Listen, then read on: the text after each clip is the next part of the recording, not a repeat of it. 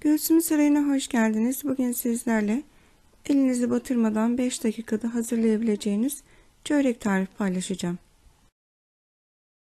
Gördüğünüz gibi çöreğimiz sünger gibi yumuşacık ve çok lezzetli. Mutlaka yapmanızı tavsiye ederim.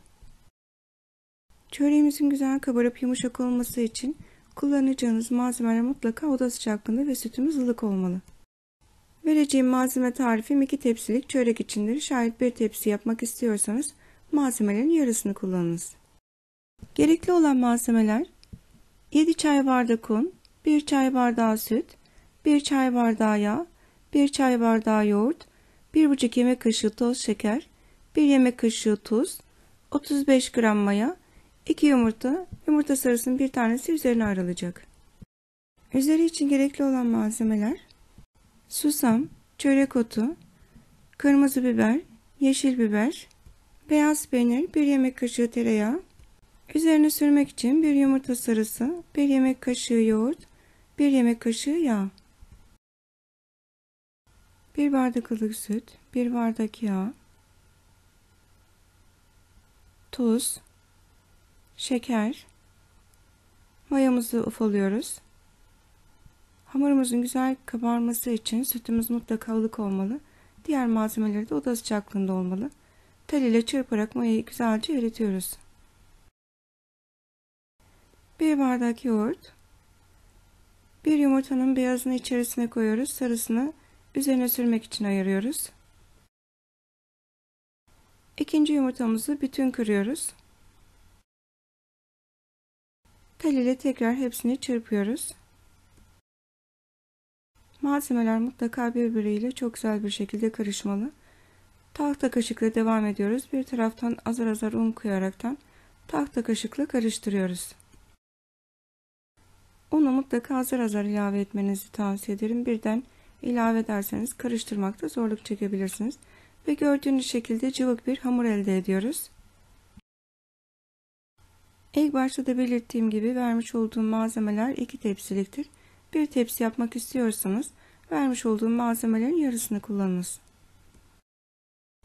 Hamurumuz gördüğünüz kıvama gelecek. Güzelce toparladıktan sonra üzerine 2 yemek kaşığı yağ sürüyoruz. Üzerine sürmüş olduğumuz yağ hamurumuzun daha yumuşak ve daha lezzetli olmasını sağlayacaktır.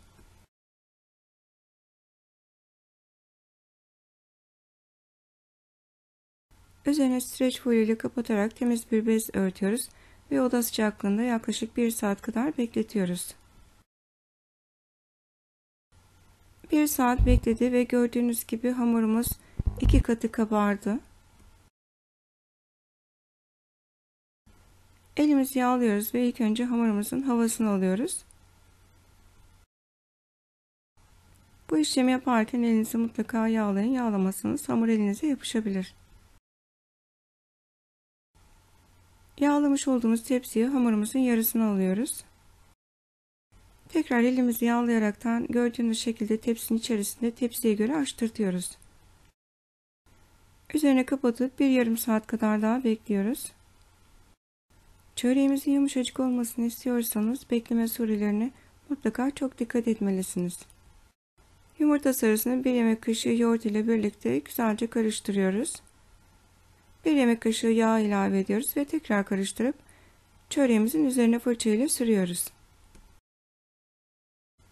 Hamurumuz sürerken de hissediyorsunuz puf puf ve çok güzel oldu. Çörek otunu aralıklı bir şekilde serpiştiriyoruz. Kalan aradaki boşluklara susam serpiştiriyoruz. Ve beyaz peyniri gördüğünüz şekilde çörek otunun üzerine serpiştiriyoruz. Yuvarlak kesmiş olduğumuz yeşil biberleri aralıklı olaraktan diziyoruz.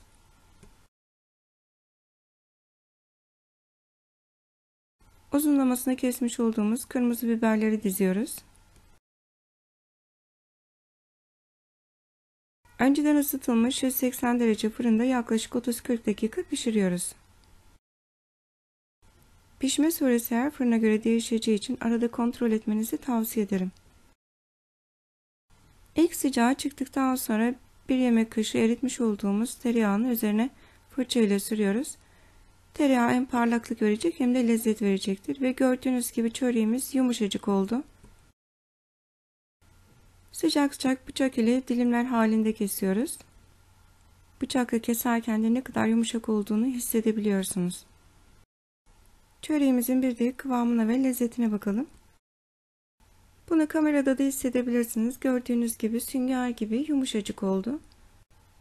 Sizler de aynı sonucu almak istiyorsanız mutlaka yapım aşamasına çok dikkat etmelisiniz. Bekletme sureleri çok önemlidir. Yanına zeytin ve bir bardak ayran çok güzel yakışıyor. Deneyecek olanlara şimdiden afiyet olsun. Kalbinizden sevgi, ağzınızdan tat, mutfağınızın bereketi hiç eksik olmasın. Yeni tariflerde görüşmek üzere, hoşçakalınız.